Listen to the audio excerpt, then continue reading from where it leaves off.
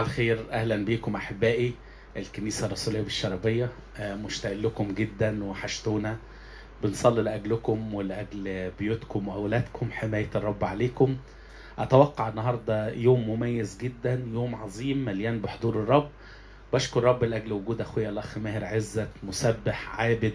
حب الرب من كل قلبه وعندي إيمان إن كل حد معانا النهارده هيلمس حضور الله بقوة. جهز قلبك وجهزي قلبك وبولس الرسول أربع مرات في روميا وفي ليبي وفي ليمون وهو بيقول كده والكنيسة التي في بيتك. أنا نفسي النهاردة بيتنا يكون كنيسة للرب. كم حد يقول له أتوقعك وأتوقع حضورك زرنا زيارة خاصة من عندك النهاردة يا رب. يلا أحبائي خلونا نغمض عينينا قبل ما نبدأ تسبيح إحنا بنقول للرب عايزينك وطالبينك وطالبين حضورك. شكرا ليك لأنه لا يخزى لا يخزى منتظريك يا رب. انت صالح انت صالح انت عظيم. بنستودعك يومنا بنستودعك كل كبيرة وصغيرة النهاردة يا رب. عايزين نكرمك ونعليك ونسبحك من كل قلوبنا. هللويا هللويا. هو موجود وسطينا. عن كل واحد منا ليس ببعيد. قول له النهارده يا رب محتاج تزورني زيارة خاصة وتلمسني لمسة خاصة في اسم الرب يسوع. المباني تتقفل بس حضورك لا يحد مباني ولا أماكن ولا زمن. أنت موجود يا رب أنت موجود. قول له أنت حاضر في بيتي. يلا ارفع قلبك وارفع قلبك معايا قول له هذا اليوم عظيم يوم بركة يوم لمسات حقيقية إلهية. يا رب أنهار من الروح القدس تجري أنهار ماء حي في اسم الرب يسوع. يلا وإحنا بنبدأ عبادة مع أخويا ماهر. يلا ارفع قلبك وارفع قلبك قدام الرب.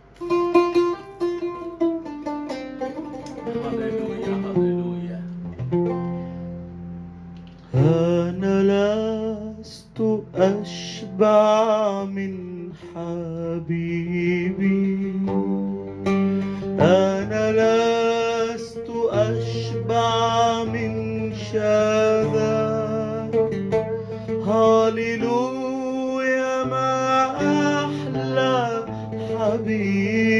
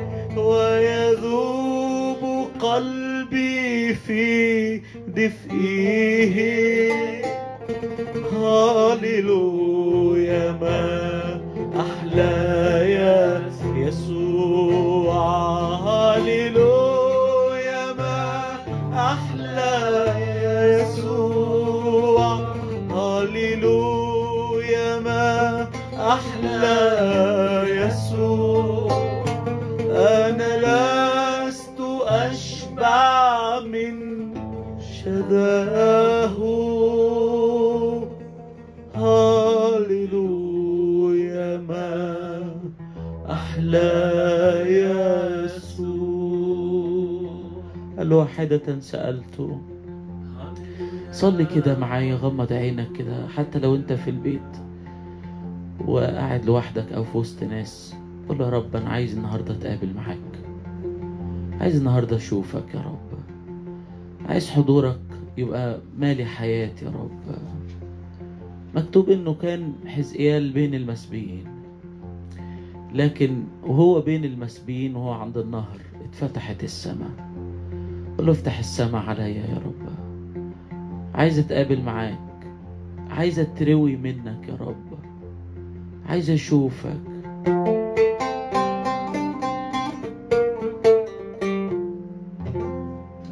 أنا طالب حضورك ولذة رضاك تملاني بنورك بالقرب معاك. أنا طالب حضورك ولذة رضاك تملاني بنورك بالقرب معاك. أنا طالب أتغير لشخصك أتغير؟ وإن كان حبي صغير لمستك ترويه قلبي هيستناك طلبه يكون معاك. حبك لا سواك هو اللي هيشفي أنا طالب أتغير لشخصك أتغير وإن كان حبي صغير. لمستك تروي قلبي هيستناك طلبه يكون معاك. حبك لا سواك هو اللي هيشفيك أنا طالب حضورك ولذة رضاك تملاني بنورك بالقرب معاك أنا طالب حضورك ولذة رضاك تملاني بنورك بالقرب معاك قربك مجد تاني في عشرتك أغاني. حبك ليه معاني قلبي بيتهجى. جلسة بين إيديك وسجودي لديك. نظرة من عينيك كل ما أتمناه. قربك مجد تاني في عشرتك أغاني. حبك ليه معاني؟ قلبي بيتهجى. جلسة بين وسجودي لديك نظرة من عينيك كل ما يلا قول معانا أنا طالب أنا طالب حضورك ولذة رضاك تملاني بنورك بالقرب معاك. أنا طالب حضورك ولذة رضاك تملاني بنورك بالقرب معاك. يا أبرع جمال لك مجد وجلال حبك فاق الخيال عنوان الصليب ما لم ترى عين أو تسمع به أذان أو يخطر ببال. حبك يا حبيب يا أبرع جمال لك مجد وجلال حبك فاق الخيال عنوان الصليب ما لم ترى عين أو تسمع به أذان أو يخطر ببالك حبك يا حبيب أنا طالب حضورك ولذة رضاك تملاني بنورك بالقرب معاك. أنا طالب حضورك ولذة رضاك تملاني بنورك بالقرب. يا نهر يا نهر السباحة بيت خمر وراحة يا محول المناحة في قلبي بإيديك. لا للركبتين ولا للحقوين بل بقرب قلبك عبرني ليك يا نهر سباحة بيت خمر وراحة يا محول المناحة في قلبي بإيديك لا للركبتين ولا للحقوين بل بقرب قلبك عبرني إليه أنا طالب حضورك. ولذة رضاك تملاني بنورك بالقرب معاك. من أول الكتاب المقدس وأنت تلاقي نوعيات من الكتاب المقدس رجال الله القديسين يسيبوا فأول ما يسيبوا بالشمال ياخدوا باليمين على طول. بمعنى كان لوط وإبراهيم ماشيين مع بعض. بس لوط ما يسيبش بالعكس ده ياخد. إبراهيم يقول له خد اللي أنت عايزه. بس إبراهيم يسيب كل اللي في إيده ويخرج من أرضه وعشيرته حتى الغنم وال- والأرض اللي كانت اللي كان ربنا مديها له وكان المفروض هياخدها. فلوط يستحسن الأرض فياخدها منه. فابراهيم يسيب وأول ما يسيب السماء تتفتح له وربنا يقول له أنا ترسل لك أجرك كثير جدا. ارفع عينيك لفوق. لنجوم السماء هخلي نسلك زي نجوم السماء بص على رمل البحر هخلي نسلك زي رمل البحر. تمشي قدام شوية. موسى موسى موسى يحط في قلبه إنه لا يتنجس بقطايب الملك ولا بخمر. سوري موسى إنه أبى أن يدعى ابن ابنة فرعون. مفضلا بالأحرى أن يذل مع شعب الرب. عايز يا موسى قالها سيب بالشمال وأول ما يسيب بالشمال يلاقي علقة محترقة. يقول أميل لأنظر هذا المنظر وأول ما يميل لينظر هذا المنظر ربنا يمسك فيه ويقول له همل حياتك بالمجد وتعاين النور كل أيام حياتك. تعالوا نقول مع بعض عددين ثلاثة من أنا حي بيك يا شمس الحياة يا رئيس الحياة متكون من تراب وروحي.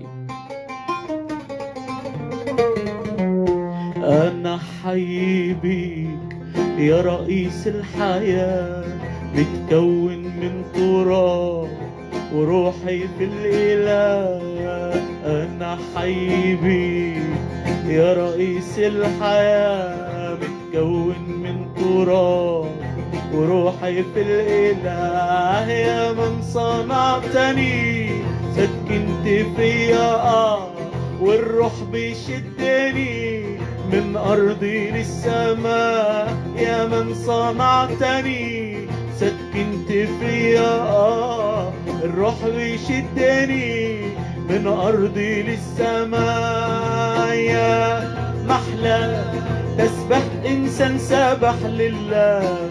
في مرآة شايف واخد رايح لله. يا محلى تسبح إنسان سبح لله في مرآة شايف واخد رايح لله شيء جواه بيزيد ويفيد ويقول الله يا الله يا الله. شاهق وزفير مرهون بين اسمتك تكويني ومصير موجود بكلمتك. شهيق وزفير مرهون بين اسمتك تكويني ومصير. موجود بكلمتك قول لي أنا بحبك ألاقيني كل عني وأما ترجعني لي هرجع وأشتاق لقرب. قول لي أنا بحبك ألاقيني كل عني واما ترجعني لي أرجع وأشتاق لقربك يا محلى تسبح إنسان سبح لله. في مرآة شايف واخد رايح لله. يا محلى تسبح إنسان سبح لله. في مرآة شايف واخد رايح لله. شيء جواه بيزيد ويفيد ويقول الله يا الله يا يلا قول معايا حبك حبك عمل كان يعيش على الحب فيك ويتدفى المهاب ويروح بمخافة ليك حبك عمل لي كان يعيش على الحب فيك يتدفى المهاب ويروح بمخافة ليك جمراتك تحمي قلب العابد من أي موت. لما يريدك ويقبل يوم حب في سكوت. جمراتك تحمي قلب العابد من أي موت. لما يريدك ويقبل يوم حب في سكوت.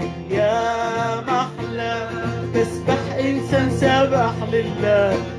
في مرآة شايف واخد رايح لله يا محلى تسبح إنسان سبح لله.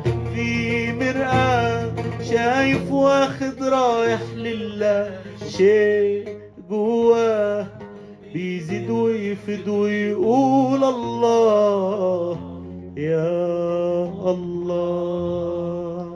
دانيال كمان اللي أنا قلته في التعليق اللي فات. يحط في قلبه مع الفتية التلاتة إن هم ما يتنجسوش بالأكل اللي بيقدمه الملك. ما يتنجسوش بالأشياء اللي في العالم لأن العالم زي ما بيقول كده الكتاب يا أسيس العالم يمضي وشهوته. هتحط عينك في العالم اللي هيمضي وشهواته أنت هتمضي وراه هتروح وراه. ده زي ما بتقول الترنيمة ده ياما طواه أموات. بس عارف أول ما, ما, ما يطلبوا من قلبهم إن هم ما يتنجسوش بده. ربنا يعلي مقامهم جدا. ربنا يرفع من شأن واحد زي دانيال ده يقول الحلم اللي الملك بيحلمه من غير ما يتقال له يقول الحلم ويقول تفسيره. إيه الحلاوة دي؟ إيه الجم إيه الناس دي؟ إيه الروعة دي؟ دي ناس فضلت طريق ربنا عن طريق العالم. طريق زي ما بيقول الكتاب المقدس في قصة حياة داود حتى بعد داود يقول اختار طريق داود أبيه. ورفض طريق بلعال وواحد تاني اختار طريق بلعال ورفض طريق داود انت من أي نوعية؟ بتختار أني سكة بتختار أني طريق. النهاردة أقول للرب معايا واحد قلبي لخوف اسمك. عايز يا رب أعبدك. في حلقة حلقتين جمال جدا الأسيس ناشد وأنا على على القرمة في نارا نور. عن العابد شخص العابد. شخص العابد يفضل من قلبه حاجات فربنا يبص على القلب من جوه يقول آه قلب داود ده من جوه زي نفس نوعية قلبي. عايز إيه؟ عايز يعرفني عايز يعبدني عايز يكرمني. يلا قول له معايا في الترنيمة الجميلة اللي جاية. خليني لما افتح عيني. أول فكرة. صدقني ده حلو ده حلقة حلاوة وكله مشتهيات.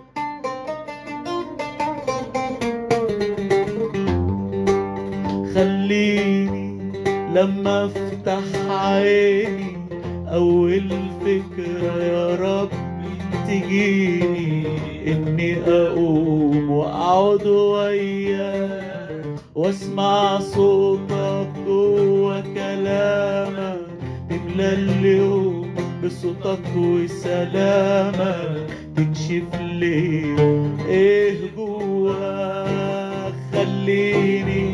لما افتح عيني أول فكرة يا رب تجيلي إني أقوم وأقعد وياك وأسمع صوتك جوه كلامك تملى اليوم بصوتك وستكشف ليا تكشف ليا إيه جواك؟ كلك مشتهيات يا حبيبي. تستاهل سجودي وطيبي.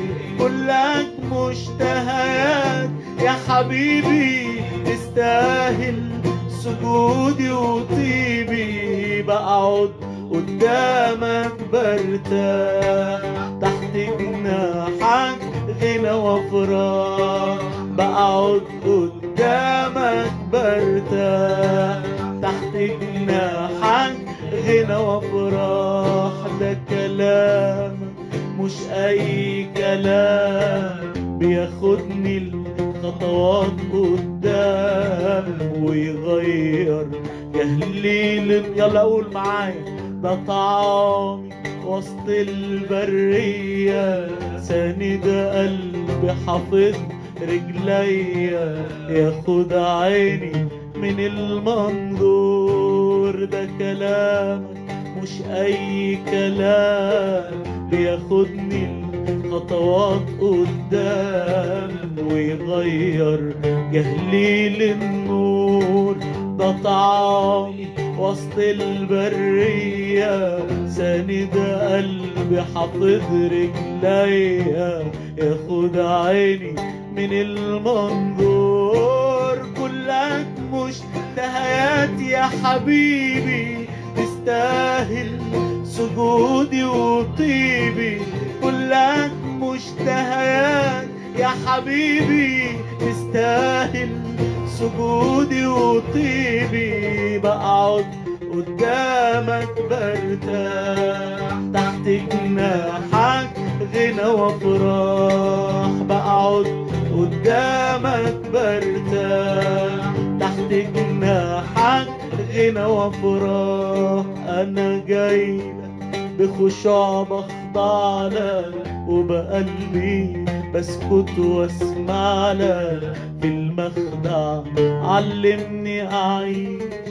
طالب شوقي يزيد جوايا.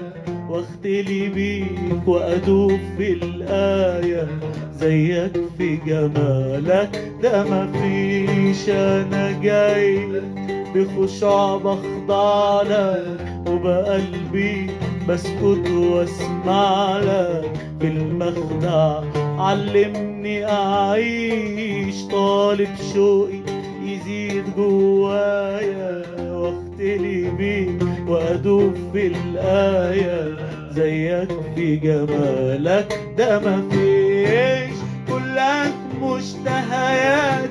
يا حبيبي تستاهل سجودي وطيبي. كلك مشتهيات. يا حبيبي تستاهل سجودي وطيبي. بقعد قدامك برتاح. جناحك غنى وافراح بقعد قدامك برتاح جناحك غنى وافراح أنا جاي لك بخشوع. وبقلبي بسكت واسمع لك. بتقدم إيه؟ قلب اقدم سجود. عايز أختم معاكم بالترنيمة الجميلة اللي جاية. بس كلمة سجود الحقيقة ما تخلينيش أعدي عليها كده وأمشي. لأنه السجود مش بس توطية راس يعني مش بس تقوم موطي كده وراشم الصليب كده ويعني بخشوع ده كويس ده أنا ما برفضش ده ودي حاجة كويسة إن إحنا يعني نقف بزينة مقدسة وباحترام ووقار قدام ربنا. بس قبل الحتة دي في حتة برضو تخص القلب. إيه اللي يخص القلب؟ تعالوا نشوفها من أول واحد حب يقدم في الكتاب المقدس سجود. مين أول واحد يا أسيس حب يقدم في الكتاب المقدس سجود هابيل. قدم ذبيحة. ففي كلفة. لكن أول واحد اتكتب عليه أو اتقال عنه إنه رايح يسجد إبراهيم. إبراهيم رايح يسجد كان رايح يقدم مين؟ ابنه. فإبراهيم مش رايح بس يوطي ويرشم الصليب أو يوطي بخشوع قدام ربنا لأ. ده في إيديه السكينة مرفوعة على ابنه. طب عايز تقول إيه؟ سجود بدون كلفة لا يعني سجود. سجود بدون حاجة مقدمة لربنا ما تعنيش سجود اطلاقا. مريم تقعد عند رجلين الرب وتقدم سجود. بتقدمي إيه؟ قال قالت بقدم اللي عندي. إيه اللي عندك النهارده تقدمه لربنا؟ أنت مش مطلوب تقدم إسحاق ومفيش حد من الكتاب المقدس تاني الطلب عنه يقدم إسحاق. ده واحد بس وكان رمز للآب. وحتى ربنا قال له خد ابنك وارجع ابنك ما يملاش عيني لأن ابني ملا عينيا ابني السماوي ملا عينيا. فعايز أقول لك إنه إنه يعني مش هتقدم إسحاق بس هتقدم اللي عندك بتاعك أنت اللي في حياتك أنت. إيه اللي يمكن خطية؟ يمكن ربنا عايزك عايزك علشان تقدم سجود تسيب خطية الخطية اللي في حياتك تسيبها. عدم تقديرك لربنا وإن هو يكون الأول في حياتك. ده ده أنت مش مقدره. ربنا يمكن يكون عايزك في الوقت ده تقدر حياة رب تقدر سجودك وتقدر آه، العلاقة مع ربنا أكتر من كل الأمور اللي أنت بتش- بتشتغل بيها أو بتتشغل بيها. تعالوا نقول مع بعض في الترنيمة الجميلة اللي جاية. أنا بطلب مجدك وإن كان في قلبي خطية وراعتها كتير خلصني خلصني من العبودية. بقوة تحرير. أنا بطلب مجدك. أنا بطلب مجدك. وريني مجدك.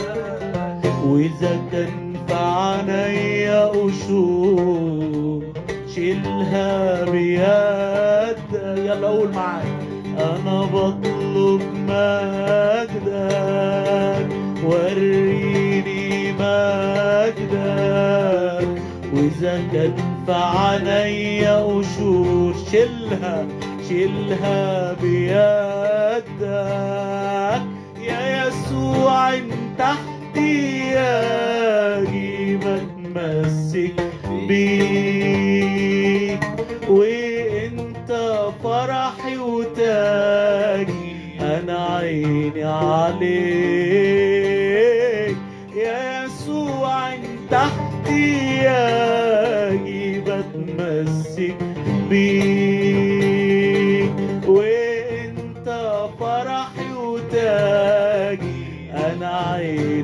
عليك يلا قول من قلبك أنا بطلب مجدك. وريني وريني مجدك. وإذا كان في عينيا قشور شيلها بيا. أنا جاي أنا جاي وفي قلبي خطية ورعيتها كتير. خلصني من العبودية قوة تحريق أمين يا رب. أنا جاي وفي قلبي خطية ورعيتها كتير. خلصني من العبودية قوة تحرير أنا بطلب ما أريني مجدك وريني مجدك وإذا كان في عيني قشور شيلها بيا. أنا مستنيك أنا مستنيك يا فدية وقلبي عطشان. رؤية شخصك تحييني نبعك مليان أنا مستنيك يا فدية قلبي عطشان. رؤية شخصك تحيحين يا رب. نبعك مليان أنا بطلب ما أريني مجدك وريني مجدك وإذا كان في عينيا قشور شيلها بيدك أنا بطلب مجدك وريني مجدك. وإذا كان في عينيا قشور شيلها بيدك. آمين. هللويا هللويا. آه، مرات كتير مجد الرب بيكون مكلف زي أخويا ماهر ما قال. بس مجد الرب كمان محتاج أمور تانية عشان نقدر نعاين مجده نعاين مجده. وإحنا ماشيين في سلسلة من معاملات الله في وسط الضغوط.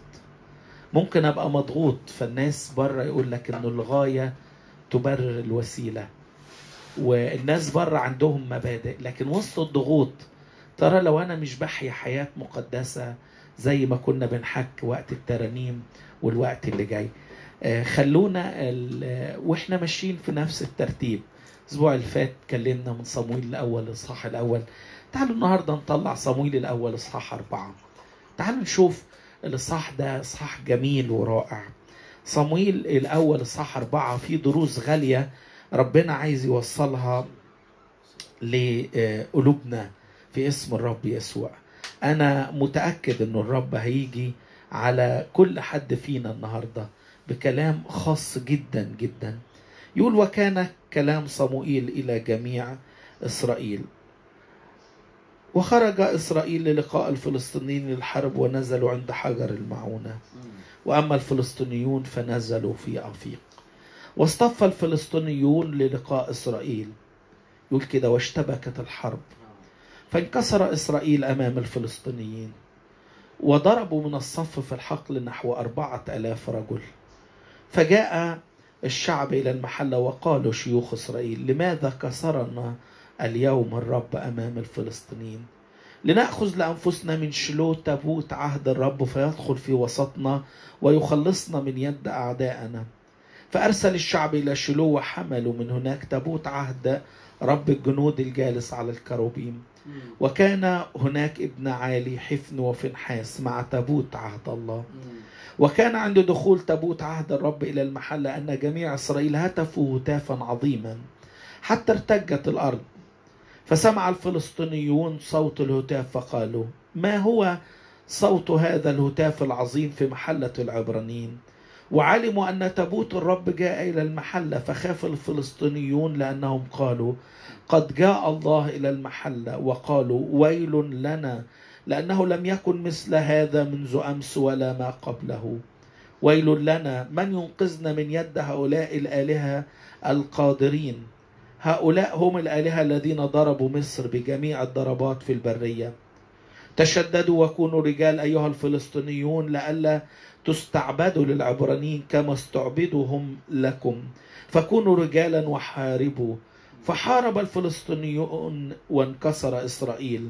وهرب كل واحد إلى خيمته وكانت الضربة عظيمة جدا. وسقط من إسرائيل ثلاثون ألف رجل. وأخذ تابوت الله. ومات ابن عالي حفني وفنحاس. فرقد رجل من بنيامين من الصف وجاء إلى الشلو في ذلك اليوم وثيابه ممزقة وتراب على رأسه. ولما جاء فإذ عالي جالس على كرسي بجانب الطريق يراقب لأنه لأن قلبه كان مضطربا لأجل تابوت الله. ولما جاء الرجل ليخبر في المدينة صرخت المدينة كلها. فسمع عالي صوت الصراخ فقال ما هو صوت الضجيج هذا؟ فأسرع الرجل وأخبر عالي وكان عالي ابن ثمان وتسعين سنة وقامت عيناه ولم يقدر أن يبصر. فقال الرجل لعالي أنا جئت من الصف أنا هربت اليوم من الصف. فقال كيف كان الأمر يا ابني؟ فأجاب المخبر وقال هرب إسرائيل أمام الفلسطينيين وكانت أيضا كسرة عظيمة في الشعب. ومات أيضا ابناك حفني وفنحاس. وأخذ تابوت الله. وكان لما ذكر تابوت الله أنه سقط عن الكرسي إلى الوراء. إلى جانب الباب فانكسرت رقبته ومات لأنه كان رجلا شيخا وثقيلا. وقد قضى لإسرائيل أربعين سنة. وكنته امرأة فنحاس كانت حبلى تكاد تلد. فلما سمعت خبر أخذ تابوت الله وموت حميها ورجلها ركعت وولدت لأن مخاضها انقلب عليها. وعند احتضارها قالت لها الواقفات عندها لا تخافي لأنك قد ولدت ابنا فلم تجب ولم يبالي قلبها. فدعت الصبي إيخابوت قائلة قد زال المجد من إسرائيل لأن تابوت الله قد أخذ ولأجل حميها ورجلها فقالت زال المجد من إسرائيل لأن تابوت الله قد أخذ. حقيقة مشهد رهيب جدا جدا بيحكي لينا عن حرب وقت الضغوط والفلسطينيين ويتكلم استعباد وأمور رهيبة جدا. ويجي الاصحاح ده فيه كلمة لم تتكرر في كل الكتاب وهي كلمة إيخابوت أو زال المجد. هي كلمة ترجمتها أين المجد أو لا مجد؟ حيث إنه لا مجد أو زال المجد هناك أمور رهيبة جدا هناك كسرة عظيمة. كنا بنرنم ونقول للرب أنا بطلب مجدك وريني مجدك. طب كيف أعاين مجد الله؟ في وسط الضغوط في وسط الحرب في وسط البرية اللي أنا ماشي فيها في وسط أمور كتيرة. الرب على قلبه النهارده يصنع أمور عظيمة ويكلم قلوبنا كلام خاص جدا جدا جوه قلوبنا. أنا بصلي في اسم الرب يسوع النهارده صوت الرب يوصل لقلبك وقلبك. صوت الرب يجي النهارده ويطمنا ويقول لنا إنه عودة المجد يجي المجد مرة تاني طب ليه زال المجد؟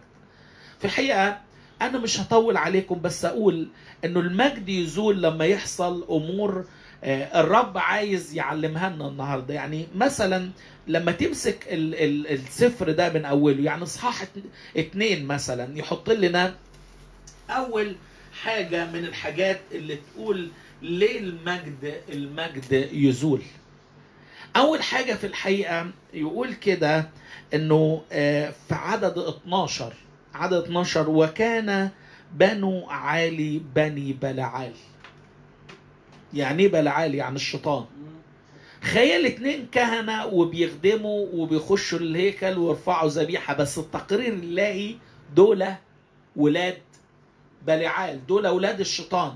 أول حاجة ما تخلينيش أعاين حضور الله إنه ما اختبرتوش اختبار حقيقي. على فكرة التدين ما يودينيش السماء والتدين ما يستحضرش مجد الله. التدين يخلي الضمير الضمير يهدى بس القلب من جوه مليان بالفراغ. القلب من جوه عايز يرجع يعود من جديد يلمس حضوره. لو أنا بعيد عن الرب لو أنا مش ابن للرب لو أنا متدين. في الحقيقة عندنا مواقف كتير في الكتاب. الفرق ما بين هابيل وقايين واحد قدم ذبيحة وجاي يتستر في الدم واحد رايح على حساب أعماله. أنا زارع حاجات حلوة. أنا عندي حاجات حلوة. إيه اللي عندك حلو؟ إيه اللي عندك عايز تقدمه لربنا؟ أنا عندي آه، فاكهة ومانجا كمثرى وعندي خضار وكرنب وطماطم هت- هت- هتقدم لربنا إيه؟ هقدم له حبيب الأرض اتلعنت ما عادش فيها حاجة تنفع. لا أنا أعمالي حلوة. في ناس عايزين يقربوا لربنا من خلال أعمالهم. يعني يعني تلاقي يقول سلكوا طريق قائين. الناس اللي سلكوا طريق قائين دول إيه طريق قائين اللي يقول عنه في رسالة يهوذا دول مستندين. أجيب ألف بطانية واوزعهم أعمل ألف شنطة غذائية في أيام الأزمة والفيروس واوزعها كل ده حلو على فكرة بس ده ما يودينيش السماء. الشهاده الإلهية هنا بنو بلعال وحيث إنه لا يوجد الرب في القلب لا يوجد مجد.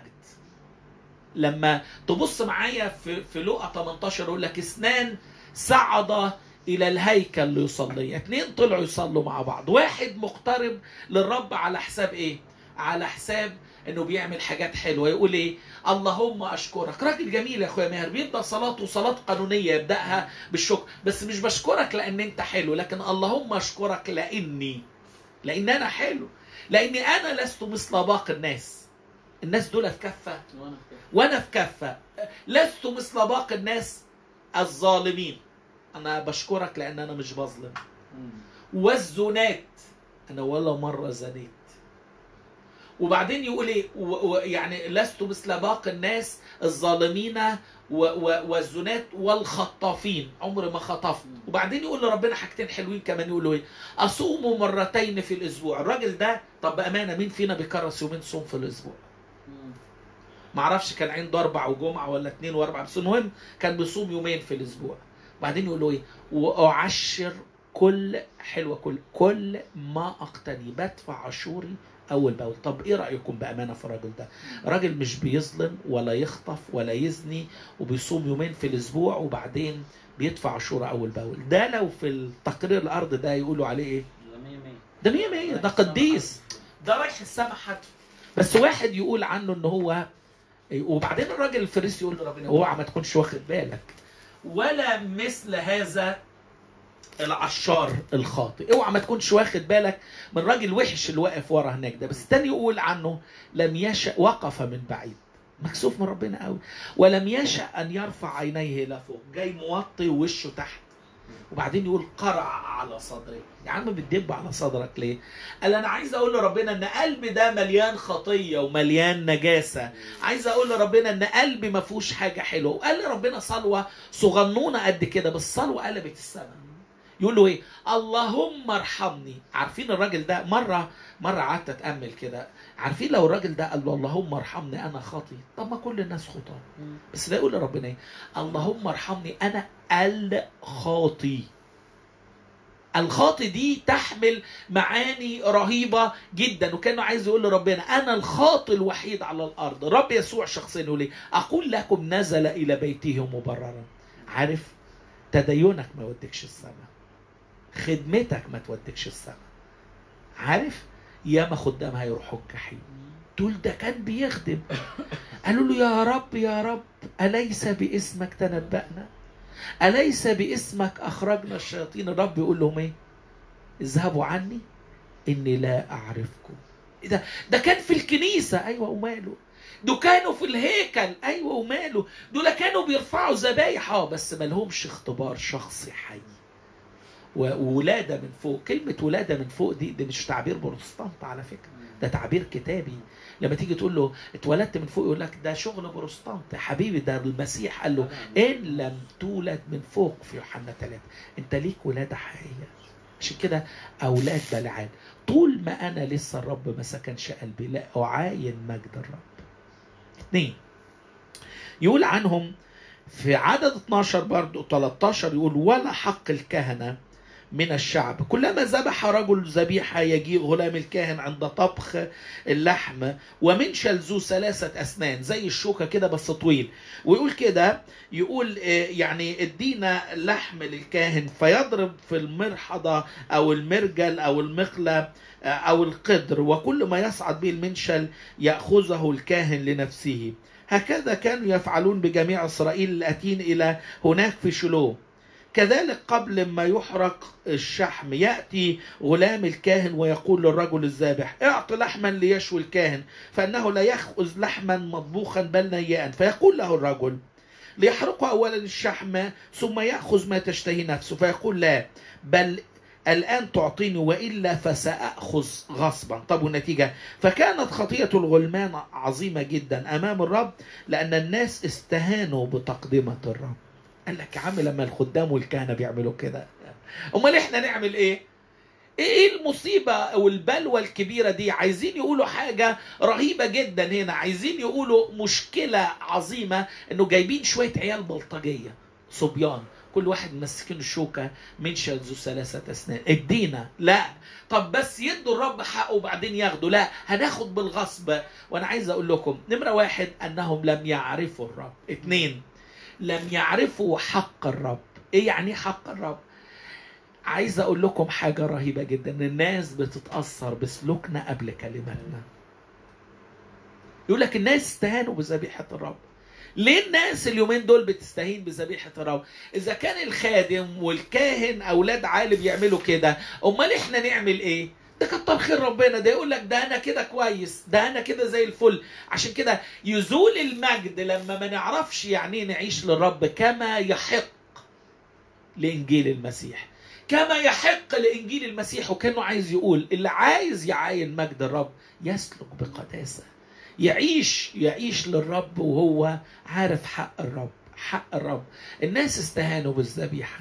ليه النهارده في في هجوم على الخدام وعلى الخدمة وعلى الكنيسة وعلى شعب الرب مش حال كنيسة في كل العالم. عارفين ليه؟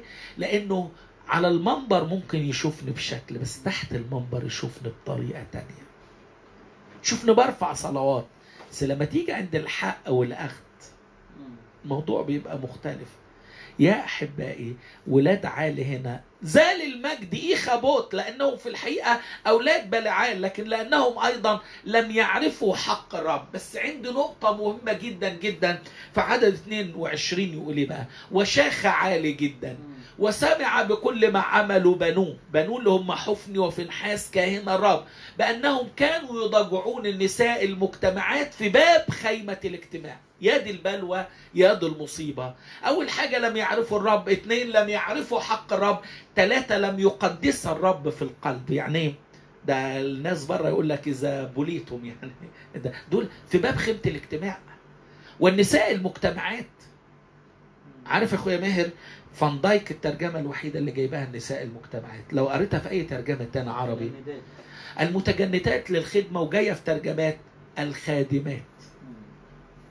تخيل لما بيت الرب يتحول وتبقى فيه المأساة دي لشهوة وعدم قداسة وتظبيط وتربيط. يجي الرب يقول لا يمكن مجد يكون في مكان زي كده.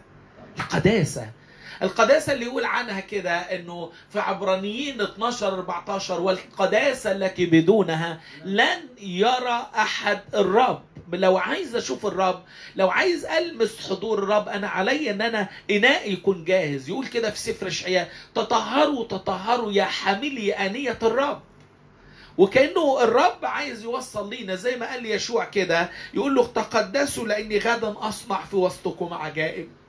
تتقدسوا هتشوفوني. طب لو ما تقدسناش ولا حاجة ممكن تحصل. وده اللي على قلب ربنا يعمله الوقت اللي جاي. اللي عايز يشاهد مجده ويشاهد حضوره يجهز قلبه. سيدي قال كده طوبى لأنقياء القلب لأنهم يعاينون الله. إخابوت ليه إخابوت أولا لأنهم لم يختبروا معرفة الرب لم يعرفوا الرب معرفة حقية. لأنهم لم لم يعرفوا حق الرب. بدأوا يسلكوا بعدم قداسة وياخدوا اللي مش ليهم. لكن كمان هنا لم يقدس الرب في القلب. السلوك بقداسة. سلوك يحمل قداسة في المشاعر والعواطف واللمس والهمس. بحب ملوك التانى أربعة تسعة لما رجل الله أليشع راح عند المرأة الشنامية تقول لراجلها تقرير رهيب. قد علمت أنه رجل الله مقدس وفي العبر جاية مخصص. مخصص الذي يمر علينا دائما. وكان عندي سؤال زمان هم بيتعرفوا؟ إلا بيتعرفوا دول. ده من كلامه ومن طريقة سلامه ومن عينيه رايحة فين؟ الراجل ده رجل الله مقدس.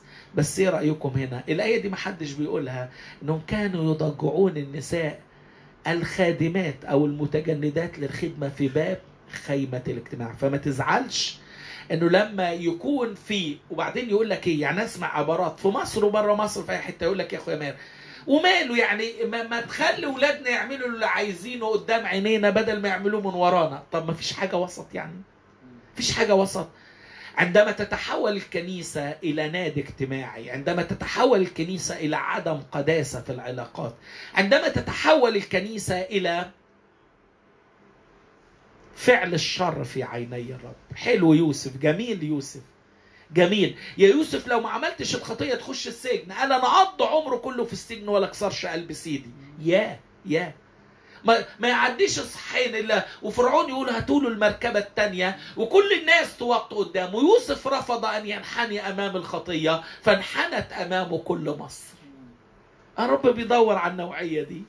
بيدور على نوعية بيحبوا القداسة. عايزين مجد الرب يعود؟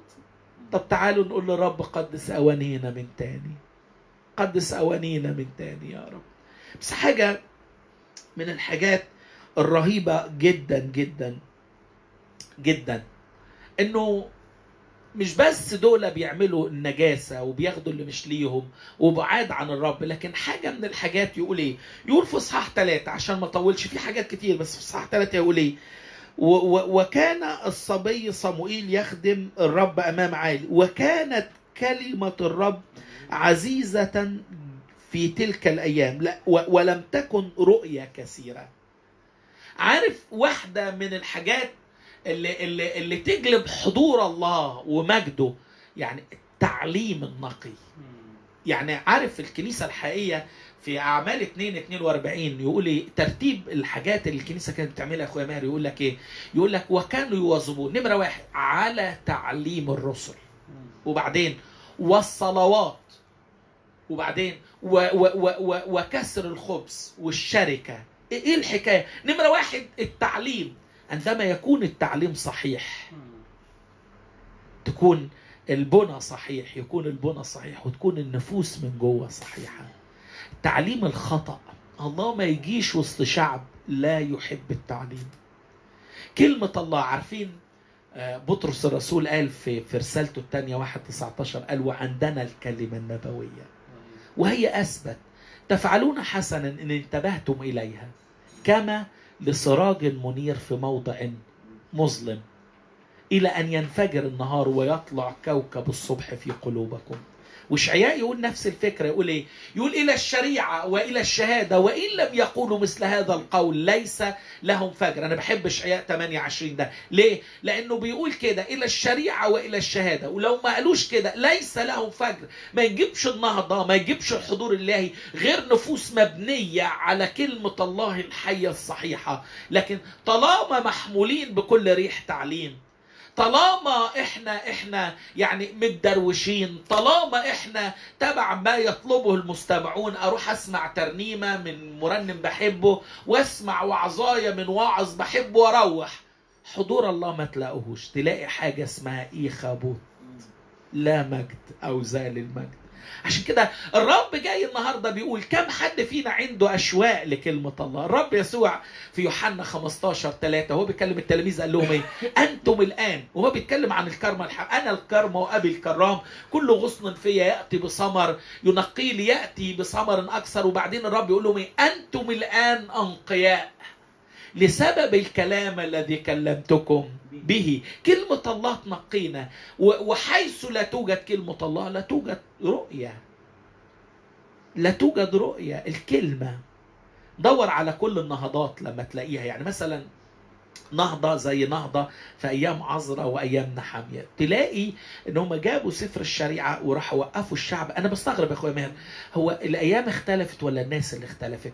ويقفوا يقروا كلمة الله نص النهار. يعني مثلا من الساعة سبعة الصبح كده للساعة تلاتة أربعة العصر واقفين بس بيقروا في سفر الشريعة. والشعب بدأ يبكي وقلبه يدوب. على فكرة ما وعظوش منها. كلمة الله قادرة إن هي تزلزل القلوب. لما تقرأ عن نهضة يوشيا مثلا وجدوا في سفر الشريعة مرمي وسط الكراكيب وهم بي بينظفوا بيت الرب. لما تحب تجيب نهضة حقيقية رجوع لكلمة الرب عايز أقول لكم على حاجة أكتر اجتماعين لا يقبل عليهم المؤمنين درس الكتاب واجتماع الصلاة ليه؟ ليه؟ طب قول كده عندنا خادم عنده مواهب شفا تلاقي الناس على بعض قول عندنا مثلا ماهر ده راجل عابد جميل بحبه والكنيسة تفتخر إن عندنا الخدام الجمال دول بس تخيل لو عندنا خادم مشهور على الميديا قلنا عندنا فلان الفلاني تلاقي الناس جاية. قول طب عندنا اجتماع صلاه طب قول عندنا اجتماع درس كتاب. يا طب قول عندنا مسرحية. تلاقي الكنيسة إيه؟ على بعض. على بعض. قول عندنا درس كتاب في موضوع مهم. لا لا الموضوع ده ما يخصناش. عايز حضور ربنا يجي لقلبك. كلمة الله. لم تكن رؤية لأن كلمة الرب كانت عزيزة. بصوا إيخابوت إيخابوت لأنهم بني بلعال إيخابوت لأنهم لم يعرفوا حق الرب. إيخابوت لأنهم لم يقدس لم يقدس الرب في القلب. إيخابوت لأنه كلمة الرب كانت نادرة جدا. لم يحبوا كلمة الله. بس إيخابوت حاجة تاني. والوقت بيجري وأنا نفسي ناخد وقت عبادة وصلاة عن حضور الله. حاجة رهيبة. ودي هقولها و و و و ورزق على الله. إن هم استخدام المقدسات بأغراض غير نقية. إيه؟ قال لك بص إحنا إحنا عندنا كلمة السر إيه؟ اتكسرنا قدام الفلسطينيين ومات 4000 واحد. وقفوا بقى إحنا هنوريكم شغلكم هتعمل إيه. اجري يا ابني انت وهو هاتوا التابوت يا علي وحفني وفي نحاس هناخد بس التابوت يخلص لنا الحرب ونرجعه. هو هو دي تعويذة ولا إيه؟ راحوا جابوا التابوت وحطوه فوق الكتاف ودخلوا. تخيلوا ان الفلسطينيين يقولوا ويل لنا. إيه؟ ده, ده, ده, ده لم يكن مثله ولا ما قبله. ده بص عمل إيه في المصريين وبص عمل إيه في الناس. ويل لنا لأن الآلهة القادرين قد جاءوا لإهلاكنا. وكانوا عايزين يقولوا إيه؟ إحنا مش قد صاحب التابوت ده. البرة شايفين قد إيه ربنا عظيم وحضوره يصنع معجزات واللي قريبين منه. استخدام المقدسات. هات التابوت. التابوت لو ما عندكش قداسة. على فكرة في أمور كتير في كلمة الله بس استخدامها بطريقة غير مقدسة. بدوافع غير مقدسة. ما تجيبش نصرة تجيب إخابوت على طول. يعني مثلا إيه؟ إزاي بتقول يا أخويا ماهر؟ تقول نادوا بصوم واعتكاف. لما تيجي تتكلم عن الصوم والاعتكاف في حد ذاته إيه؟ كويس. ده رهيب. طب خلي الكنيسة تعمل صوم واعتكاف حقيقي. التاريخ يقول إنه الكنيسة لما صلت في مصر الجبل اتنقل من مكانه. التاريخ بيقول كده. الكنيسة لما تصوم وتصلي ما حدش يقدر يقف قدام إيده القديرة بس تيجي زمن نادوا بصوم واعتكاف. ليه؟ ده خطة. عشان بكرة نشهد شهادة زور على الراجل نابوت اليزرعيلي وناخد حقل ونقتله. يا خسارة الصوم والاعتكاف. هاتوا تابوت الرب. ليه؟ عشان يدينا نصرة. يا خسارة إنكم تستخدموا المقدسات. لأغراض شخصية. اللي بيستخدموا الخدمة لأغراض شخصية. مش عايز أغوص في الحتة دي. لأن لو غصت في الحقيقة جوه قلبي حاجات كتيرة قوي يعني خليها في مكانها. استخدام أمور الله لأمور شخصية بدوافع غير نقية. يجي وراها إيه؟ إيخابوت.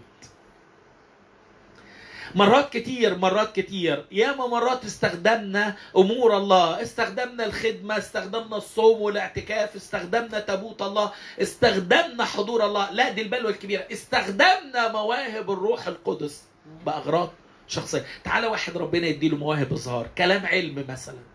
أو واحد ربنا يديله مثلا مواهب خارقة للطبيعة بحسب كورنثوس الأولى 12 يعني مثلا مواهب شفاء أو عمل قوات.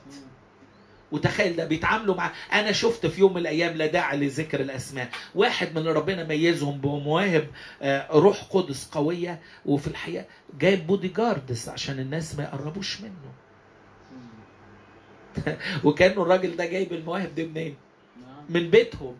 من عنده. يجي الرب يقول إيه؟ استخدام الأمور الإلهية بأغراض غير مقدسة. ده يجيب اخابوت استخدام الخدمة لجمع أموال. استخدام أمور ربنا بأمور غير حقيقية وكذب. يجي الرب يقول اخابوت استخدام التابوت في وقت من الأوقات. وإحنا مش مقدسين. يقف ضدنا.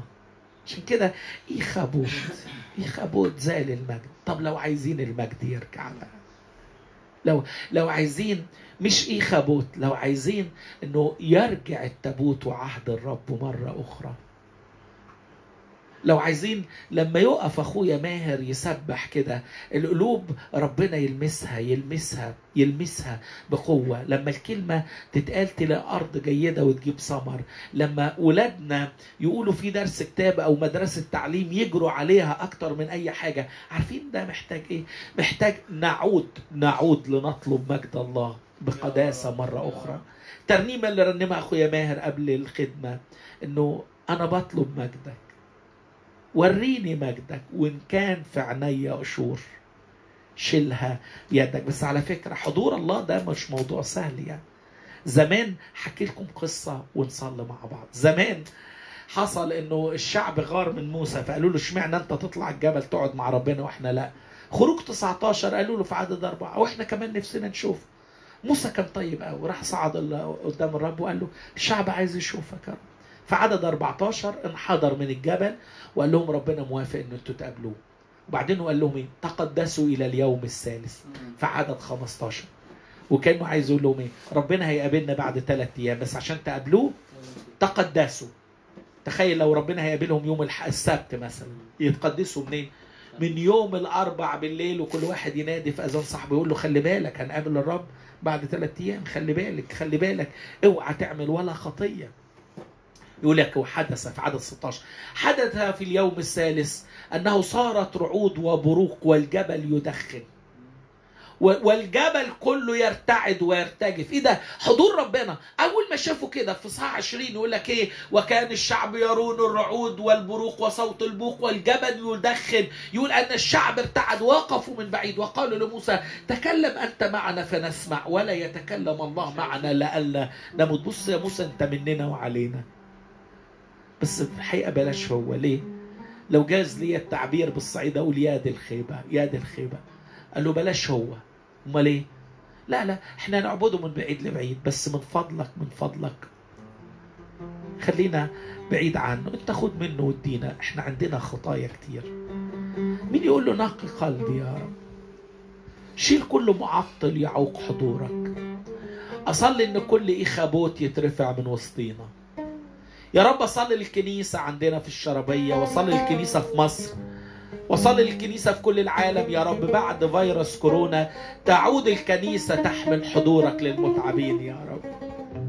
تعود الكنيسة ممتلئة بمجدك مرة أخرى يا رب. يلا مين يقول للرب إحنا عايزينك الوقت اللي جاي؟ إحنا عايزين مجدك. إحنا عايزين حضورك. إحنا عايزين الأيام اللي جاية نشوفك. يلا مع أخويا ماهر كده وأنت بتقول للرب تعالى تعالى تعالى قدس أوانينا وقدس قلوبنا يا رب. ادينا نعرف حقك. ولو في حد بيسمعنا أو هيسمعنا ما يعرفكش يتعرف عليك معرفة حقيقية. بنصلي يا رب إن كل نجاسة وكل خطية فعلية أو بالفكر أو بالعلاقات والتليفونات يا رب النهارده تقديس للقلوب. ادينا نقرب من كلمتك وادينا النهارده يا رب نقترب من عرش نعمتك. وإحنا بنقول لك قدس اوانينا يا سيدنا. هللويا هللويا هللويا. مجدا مجدا مجدا. يا رب اسمع صلاتي. اقبل واستجيب.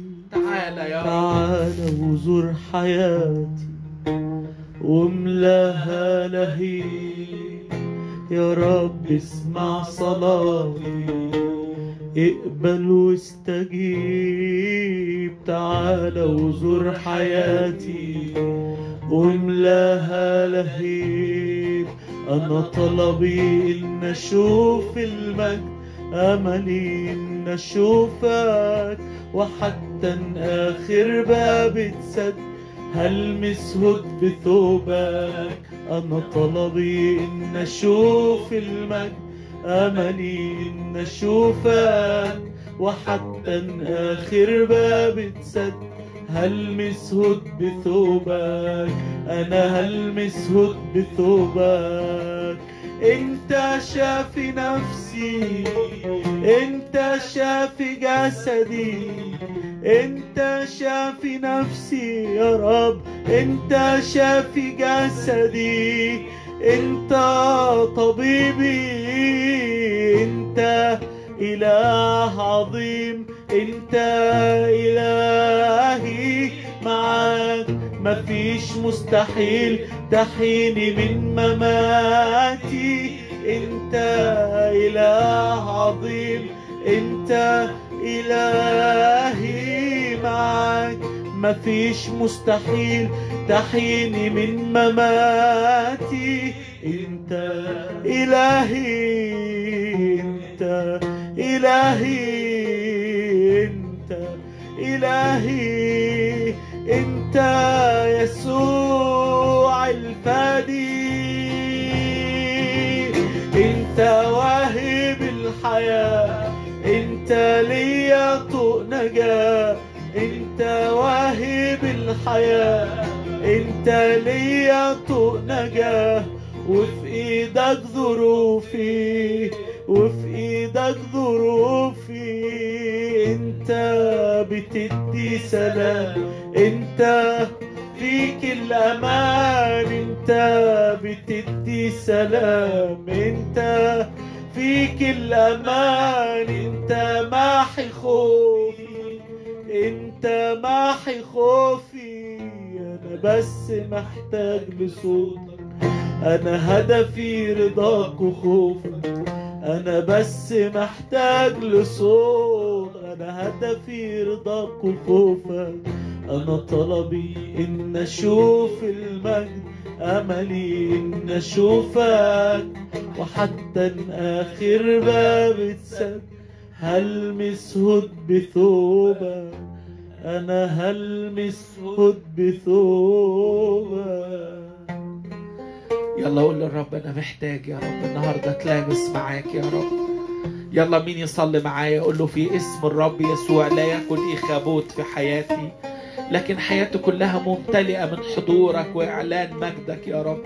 حياتي كلها الأيام اللي جاية تعلن عن محبتي ليك محبتي ليك. يلا تعالى لو في القلب أسام أو خطية. قول للرب ساعدني النهارده أحبك أقرب منك. لو في حد بيسمعنا أو هيسمعنا أو حد على صفحاتكم من فضلكم شيروا ده لحبايبكم. لسه بعيد عن الرب. تعالى قول له افتح عيني أشوفك. واديني نعمة تلامس معاك. يلا مين يقول له ساعدنا أحبك يا رب؟ قول له خذني عند الصليب حيث الدم السكيب. يا رب فلا أجد سوى إني اسجد اسجد أمامك. في حضورك لاعلان مجدك يلا قول له أنا النهارده جاي يا رب. الرب بيسألك سؤال أنت بتحبني أنا؟ أنت عايزني أنا؟ تعال تعال قول له ربنا كده أنا بحبك. أتحبني؟ أتحبني؟ أتحبني؟ يا رب، يا أتحبني؟ أتحبني؟ أتحبني؟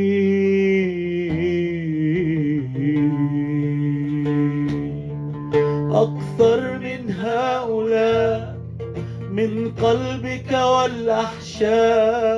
وإن أنكرتني سأظل واقفا هنا. منتظر الرجوع إني رأيت الدموع.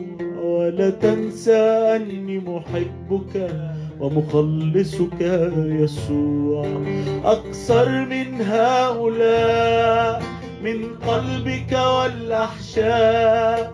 وإن أنكرتني سأظل واقفا هنا. منتظر الرجوع إني رأيت الدموع. ولا تنسى أني محبك ومخلصك يسوع. أتحبني؟ أتحبني؟ أتحبني؟ لا تخجل لا تخجل من أثام أو تخشى من ظلام. من نظروا استناروا وبدلت رمادا بجمال؟ فإن فسد الوعاء أو إن فقدت الرجاء ففتيلة لا أطفئ أنا الألف والياء. لا تخجل من أثام أو تخشى من ظلام. نظروا استناروا بدلت رمادا بجمال. فإن فسد الوعاء أو إن فقدت الرجاء ففتيلة لا أطفئ فأنا الألف والياء. أحبك أحبك أحبك.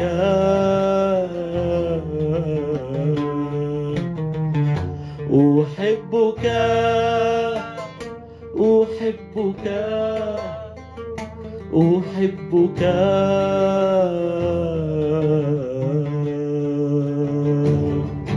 من كل قلبي من كل قدرتي فحبك أسرني وأذب قساوتي.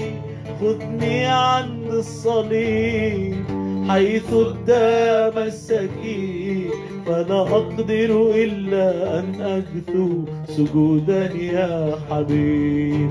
من كل قلبي من كل قدرتي فحبك أسرني وأذاب قساوتي.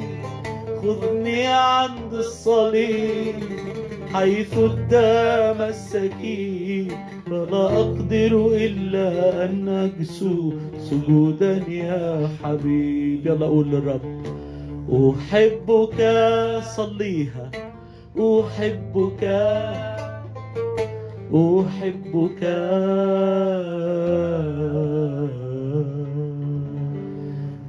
نعم يا رب ساعدنا نحبك من كل قلوبنا. ساعدنا نعبدك. ساعد قلوبنا يا رب إن هي تتمسك بيك الوقت اللي جاي يا رب.